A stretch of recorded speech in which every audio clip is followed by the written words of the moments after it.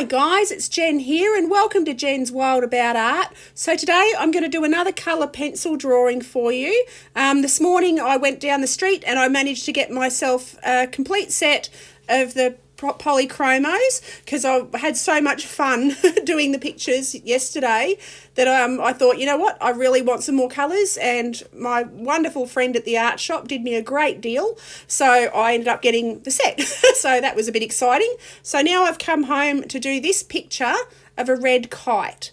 So it's a lovely little bird um, and I've just drawn the outline with my mechanical pencil and I've gone in with a yellow and a bit of a grey on the tip of the beak. And now I'm going in to his little head with a cool grey, just a light grey to run around his little face and pop a bit of shadow with a slightly darker tone of grey on his neck, under his neck and then around his eye. A little bit darker again. And I take that around the trim of his feathers on his neck and now I'm going in with an ochre onto his wings. And I'll take that right around pretty much his whole body, everywhere that he's got his ready brown colour. So on the tip of that wing, run it across. And take it under his belly and towards his tail. I'll go over this in a few different layers. So I'm strengthening at the edges of his tail. And now I'm going in with a warm yellow.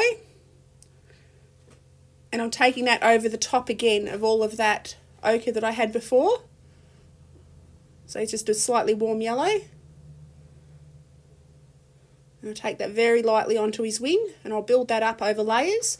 And now I'm popping his spots on because he's got dark brown spots.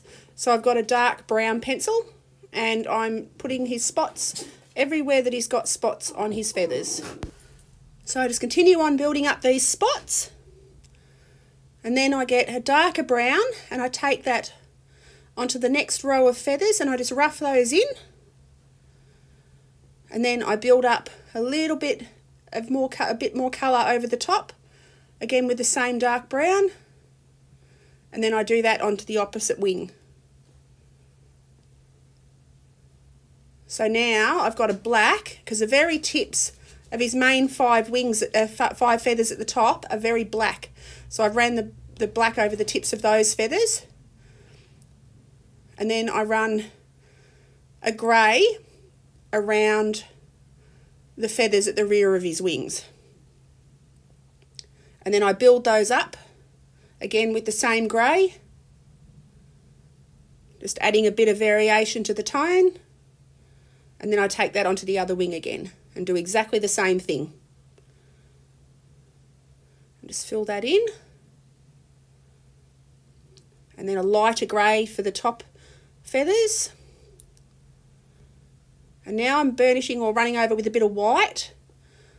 So this is a, uh, the, I use my polychromos for everything else, but I've used my Prismacolor white pencil for this because on one of the YouTube channels, it was recommended that Prismacolor had a more opaque white, so I got an opaque white. So now I'm running around with the dark brown. He had stripes on his wing feathers, so I've added those in, and I'm popping some final details around those, around his wings. Just a few more details, and I'm building up a little bit of colour onto his wings.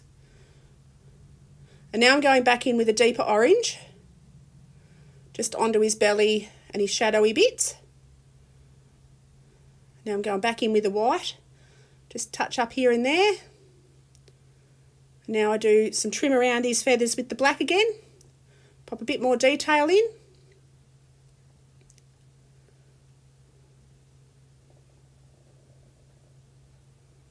Take that down his tail.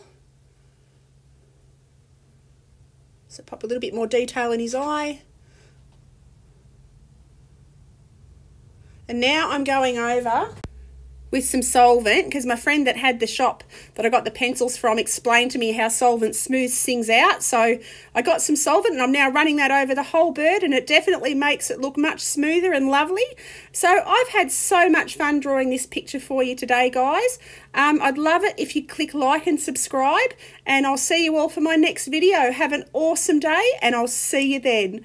Okie doke. Have a great day. Bye.